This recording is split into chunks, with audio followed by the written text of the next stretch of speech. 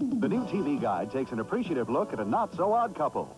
Hi, I'm Jane Curtin. And I'm Susan Saint James. We're Kate and Allie. We're on the cover of TV Guide this week. It's a great picture.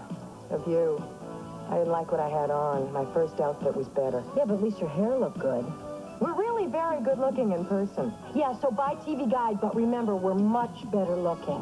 We're even better looking than this. It's the Kate and Allie Show in the new TV Guide.